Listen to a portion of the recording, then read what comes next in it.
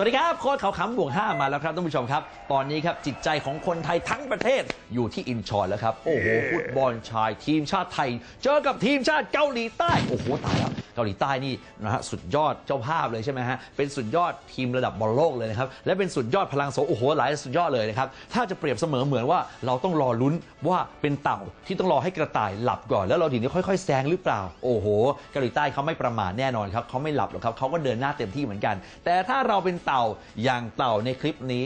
เราก็มีลุ้นที่จะชนะได้นะครับดูดีๆครับ แล้วเราจะรู้ว่าเราถูกหลอกลวงมาตลอดทั้งชีวิตเลยครับแหม่เดินอยู่ดีๆ เจอเต่าหรือตะภาพหรือตัวอะไรไม่แน่ใจฮะรูปทรงคล้ายๆเต่าเลยแหละครับ ไปดูโอ้ยน่ารักจังเลย อยากจะขอจับจังเลย 3 2 1ปูดโอ้โหนี่อะไรเนี่ยติดเทอร์โบหรือว่าเนี่ยรถเต่าติดไอพ่นหรือไง ไปดูช้าๆอีกทีนะครับนี่สังเกตดีๆครับ หนึ่งสองปั๊บปูดแล้วก็หายไปเลยครับ หายเข้าไปในป่าละเมาะไม่เจออีกเลยนะครับ หลายหลายคนเชื่อว่าคลิปเมื่อกี้นี้เป็นการตัดต่อหรือว่าเล่นเทคนิคในการถ่ายทำนะครับ ซึ่งส่วนตัวเต้ก็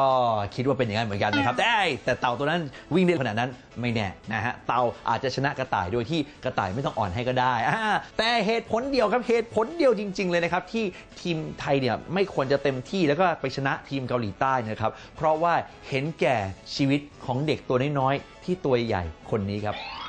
ดูสิครับนี่ท่านผู้ชมเขานั่งอยู่หน้าคอมพิวเตอร์ครับไม่ทราบนะครับว่าชื่ออะไรแต่บอกได้เลยว่าเป็นเด็กเกาหลีเนี่ยแหละครับอาจจะโอเคเป็นเด็กโตหน่อยนะครับโอ้โหกินข้าวนี่บอกจริงนะฮะเนี่ยกินได้เป็นกองทัพเลยเขาทานคนเดียวครับแล้วอยู่หน้าอินเทอร์เน็ตครับโอ้กำลังสนุกสนานกับการทานกับการสนทนากับเพื่อนออนไลน์หรือไงก็ไม่ทราบนะครับแล้วทันทีที่เกิดอาการผิดหวังกับอะไรก็ไม่ทราบที่อยู่บนหน้าจอนี่คือปฏิกิริยาเขาครับ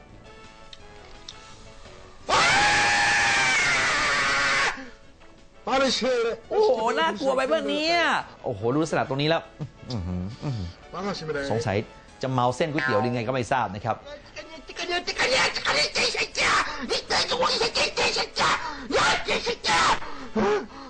โ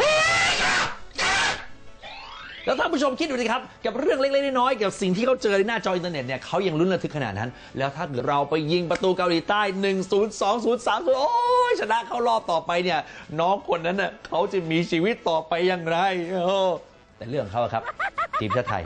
โกโก้ไทยแลนด์